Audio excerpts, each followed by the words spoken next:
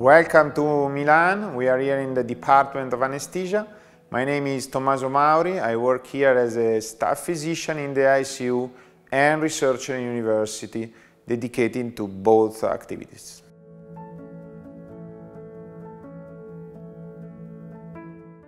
The topic of monitoring is crucial in the treatment of our ARDS patient because targeted ventilation setting should aim at personalized aims, personalized targets, and monitoring is the mean to set a personalized target in each patient. Without starting from monitoring, we jump only to average values that are okay for the population, but maybe not per that specific patient. So electrical impedance tomography is in a sense simple but also advanced monitoring at the bedside through which we could set personalized aims, personalized target and, and then decide personalized settings.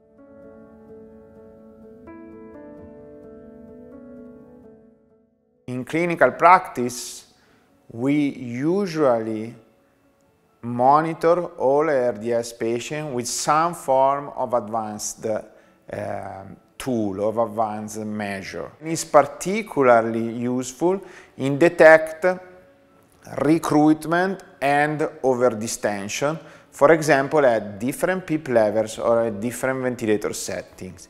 I think that at, at the bedside, the regional recruitment and regional overdistension don't have by now another method as accurate and as effective as electrical impedance tomography to be detected.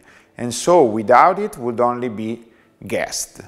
So electrical impedance tomography could integrate in the monitoring of the ARDS patient by giving specific measure, namely overdistension and recruitment.